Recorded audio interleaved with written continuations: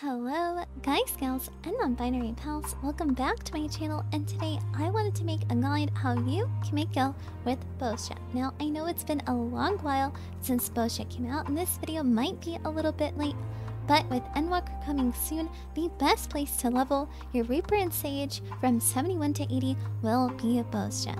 And since while you're farming, might as well make a ton of gil while you're at it. So with that being said, let's get into it.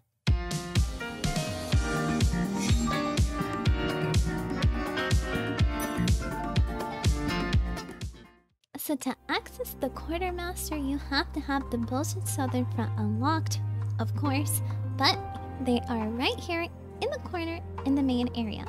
And there is a lot you can buy, and the profit margins are extremely high. I'm talking like millions on millions. Not a lot of people are doing Bozja right now, which makes it really good for selling since a lot of people are still buying a lot of these things, none of them will become irrelevant because a lot of them are just consumables or things tied to your progression within Bozja. But even when a lot of people are going to be doing the Bozja Southern Front in Endwalker, there's going to be even more people coming back, playing, and buying. So it's still going to be viable now or later.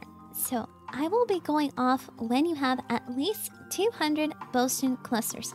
I already bought everything I needed. In regards of you having 200 clusters, this is what you can buy. So starting with the Mount the Construct 14 identification key, it is 735,000 gil per one, and you can buy one per 200 Bozja clusters. It is 180 per one, and it is sold extremely often for a mount, sometimes even multiple times per day. So this is a really really great way if you've got a lot already, just want one thing to go ahead and sell, not worry about too much, is just the mount. The next item is the emote Dark Entreaty. For 50 Bozja clusters, you can buy 4 of them per 200 clusters. It goes for 371,000 gil, and it is also sold extremely often for something that expensive. The next item is the emote Pointed Misgivings, and it is also sold extremely often and for quite a lot 286,000 gil, and you can of course buy 4 per 200 Bozja clusters. The next item is the Modern Aesthetics Wind Collar. It is a hairstyle that's extremely popular, and for 150 Bozja clusters, you can buy 1 per 200 clusters. The next item is the Pleasant Dot Parasol. You can get 8 parasols per 200 Bozja clusters, and a one goes for 245,000 gil. It's not bought as often as the rest of them, but it's still bought quite often. I wouldn't buy 8 of them at a time, just one sell it. When you sell it, buy another one, put it up, and so on. The next item is the Discord Imperial Zodiac Age version Orchestrion roll. Now, for Orchestrion rolls, it is a slow sell. I recommend just buying one, since you can, of course, buy 8 Orchestrion rolls per 200 clusters, but just sell it, put it up there. After you sell it, buy another one and put it up. The next Orchestrion roll is the Blood on the Wind it goes for 344,000 gil, and you can buy 8 per 200 clusters. Next are fragments. If you have a lot of crystals, then I recommend looking for fragments that sell a lot of at a time. And if you only have a few crystals, then I recommend trying the fragments that don't sell as often but sell for a lot more per one. And starting with the Forgotten Fragment of Divinity, it is 14,000 per one fragment. And as you can see, they are bought and sold so, so often. With 106 being sold just last week, you would have made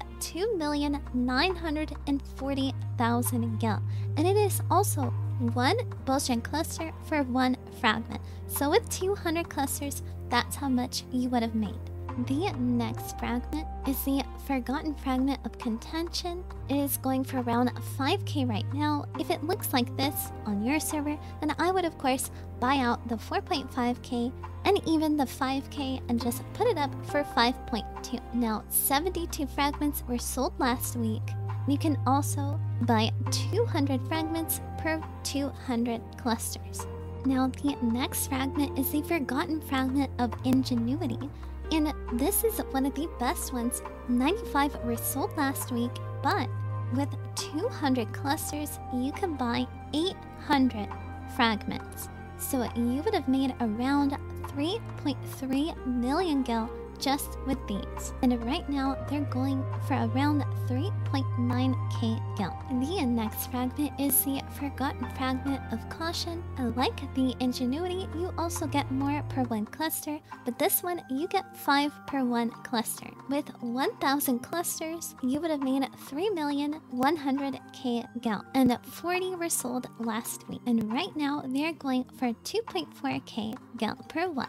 The next fragment is the Forgotten Fragment of Finesse. Now you only get one fragment per Bozjan cluster, but as you can see, each fragment is worth a ton. 7.4k is really good, and with 34 being sold last week, and even this week it's selling even better, you can make a ton of gil already. Now, if you don't have a lot of fragments, only a few, I recommend these. So first is the Forgotten Fragment of Hope, now, actually it does sell for quite often, which is great, but not as often as the rest. But for one, it is 23k gil. It was around 18k, 17k, sometimes to 10k, but overall it's worth a lot more than the rest of these.